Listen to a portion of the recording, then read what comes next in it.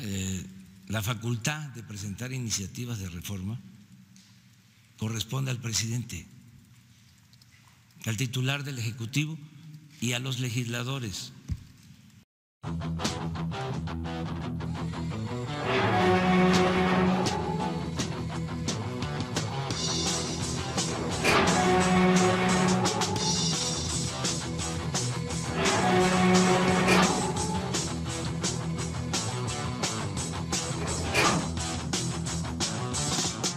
Hola, ¿qué tal amigos, amigas, señoras y señores? Mil gracias como siempre por venirse a informar a mi canal, donde saben que video tras video para mí la mayor meta es de que ustedes salgan claramente informados. Eso es lo más importante, no la limitación de tiempo. Salir bien informados a veces requiere de un poquito más de tiempo. Es mi pago por el hecho de que sean suscriptores, mi responsabilidad de informarles de la mejor manera. Gracias, en verdad, por, sus likes, por suscribirse. Nuevamente, dentro de estas cuestiones y lo que vivimos y videograbamos con pruebas, eh, en el zócalo de lo que la marcha Levarón Sicilia llegó con toda la intención y la idea, teniendo toda una explanada ahí en el zócalo, la plancha del zócalo, para que pudieran ingresar por otro lado menos por donde estaban las gentes, estábamos las personas, los youtubers pro cuarta transformación en orden, en paz, había un ambiente festivo y por ahí tenían que llegar a irrumpir, a provocar, a no respetar. En esta vida, amigos, amigas, señoras y señores, hay una cuestión que es la libre expresión, que al rato se las voy a leer porque les traigo el fragmento completo de esta intervención de Denise Dresser, que representa el conservadurismo, representa precisamente a las ideas, a proteger las espaldas, dentro de un México lleno también de periodistas chayoteros que se brindaron y se prestaban a precisamente también andar guardando las espaldas de tantas cosas que nos hicieron daño, a maquillarlas, inclusive a burlarse de nosotros con lo de Frida Sofía, con el hecho de lo de la de Flores Casens, hay que hay que tener siempre esas cosas muy en claro, no olvidarlas, porque como mexicanos tenemos que aprender, reeducarnos a que no debemos de volver a utilizar la indiferencia, a pensar que los políticos o gobernantes deben de ser así como se nos mostró durante tantos sexenios,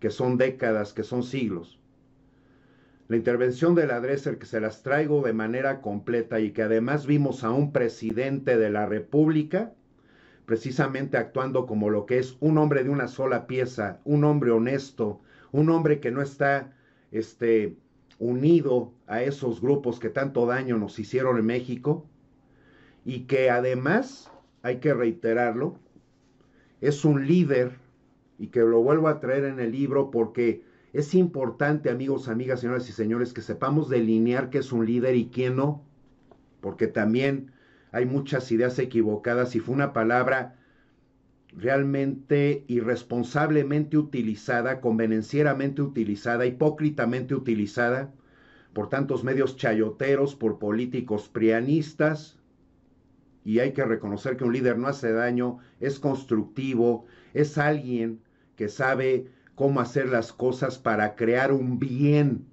no un daño, no un mal, ¿me entienden? Bueno, los líderes son impacientes por naturaleza. Este es el avance con la matemática de los líderes. Al menos todos los líderes que se conocen, los líderes que quieren moverse rápido, quieren ver la, visión cumplida, la visión. Se deleitan en el progreso. Los buenos líderes evalúan rápidamente dónde se encuentra una organización, piensan hacia dónde deben de ir y tienen ideas sólidas de cómo llegar allá. El problema es que la mayoría del tiempo las personas y las organizaciones no avanzan tan rápido como el líder.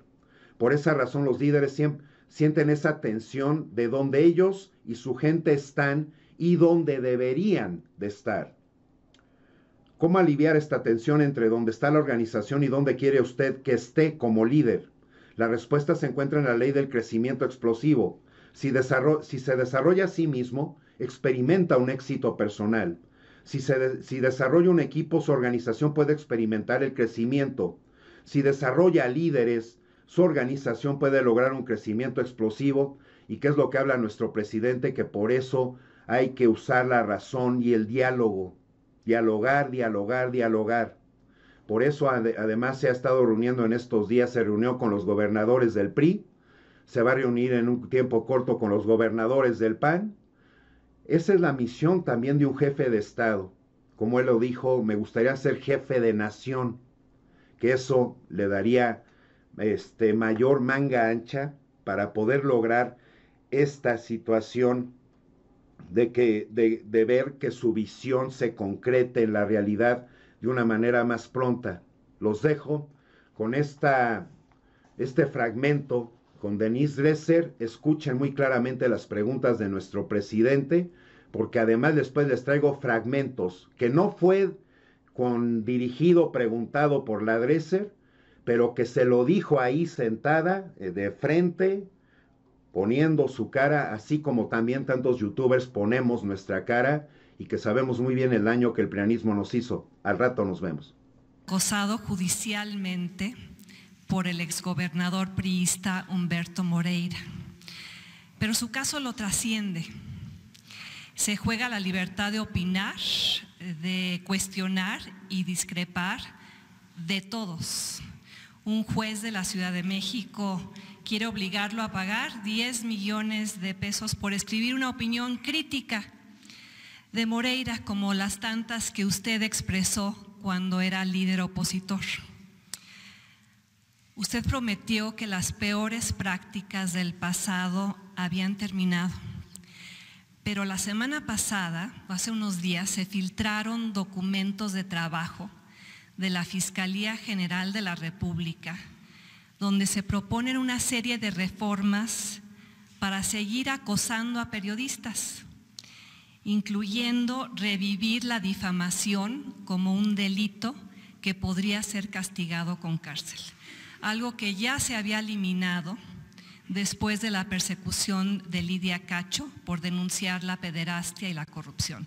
Entonces mi pregunta, usted aquí, frente a nosotros, frente al país, se compromete a que su gobierno, su partido, su movimiento no impulsarán leyes que permitan acosar judicialmente a periodistas y perseguir a personas que no piensan como usted.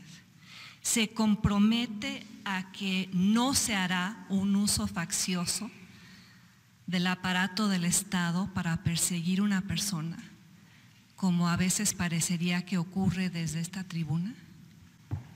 Pues este, lamento mucho, Denise, que me confundas este, con los eh, gobernantes anteriores. No lo confundo, simplemente estoy exhibiendo el hecho de que su gobierno trabaja con insumos para una reforma judicial que se parecen a mucho de lo que se hacía en el pasado, señor presidente. Bueno, este, para empezar lo que dices no es cierto. No tengo nada que ver con la supuesta reforma. Pero el fiscal general de la República, el fiscal general, en el caso de que sea cierto, sí, es autónomo. Creo que eso sí lo sabes.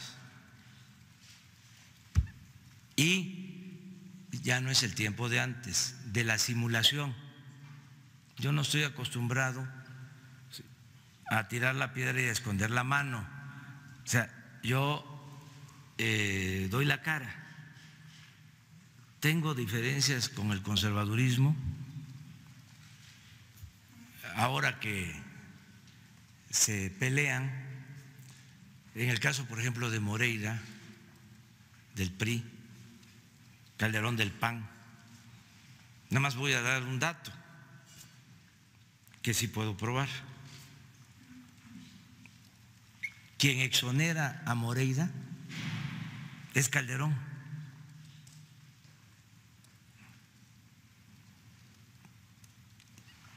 Lo hace la Procuraduría, ¿sí?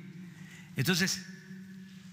Este gobierno tampoco ha insistido en ir tras él, en perseguirlo, en denunciarlo. Porque eh, depende, eh, yo creo que tienes que este, tomar en cuenta que ya lo que era la Procuraduría, ahora Fiscalía, es una institución autónoma. Lo sé perfectamente, señor presidente, pertenezco al colectivo Fiscalía que Sirva, que, propugnaba por la autonomía de la Fiscalía y que no se dio en los términos planteados y esperemos que esa autonomía no sea una simulación.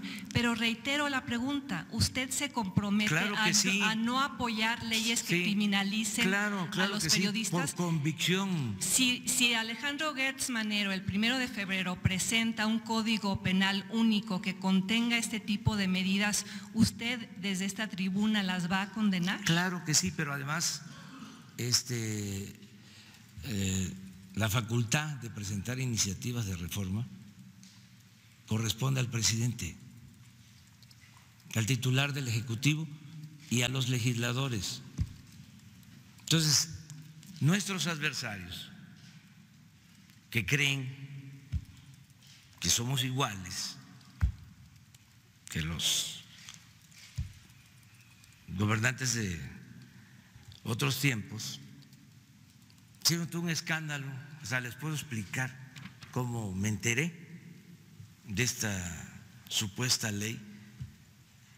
De repente, eh, viendo el financiero, que lo veo diario, porque me importa mucho ver si se aprecia o se deprecia nuestro peso, es una nota este, que sigo diario. Veo ahí ven que numeran una, dos, tres, las más importantes este, informaciones. Y veo ahí, nos quiere encarcelar a todos. Nos va a meter a la cárcel a todos. Entonces me llamó la atención. Resulta que ese que quería meter a la cárcel a todos, ese hombre autoritario, este, eh, casi dictador, eh, era yo. Y ahí me entero de que eh, había una ley donde se iban a cancelar todos los derechos. Ahí me enteré. No la he visto, no la conozco. Eh, entonces, no tiene nada que ver con nosotros. Eh, nosotros tenemos el compromiso de garantizar la libertad de expresión, de manifestación de las ideas, el derecho a disentir. Eh, nosotros venimos de un movimiento donde enfrentamos el autoritarismo, eh, denunciamos Y, muchos de los, democracia. y muchos de los periodistas de, este país también vienen de una tradición de denunciar el autoritarismo. Entonces, le tomo la palabra y aquí estaré el primero de febrero si Alejandro Gertz, la Fiscalía y su partido presentan una serie de reformas que intenten revivir la criminalización. Espero que usted se pronuncie y aquí estaré. No, eso no va a pasar. No va a pasar porque no somos iguales. O sea, eso te lo puedo garantizar. Muchas este, gracias. Eh, y Eso es todo. vamos a, respetar siempre el derecho a la libre manifestación de las ideas y no se va a censurar a nadie. No lo hemos hecho. A diferencia de los conservadores, nosotros tenemos ideales, tenemos principios, pero sobre todo eh, nos importa mucho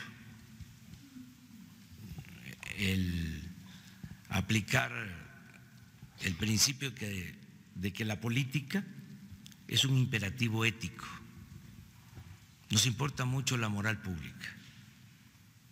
El conservadurismo, eh, su doctrina es la hipocresía.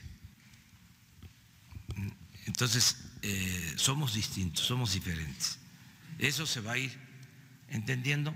Hay quienes, por falta de información, nos confunden. Y hay quienes...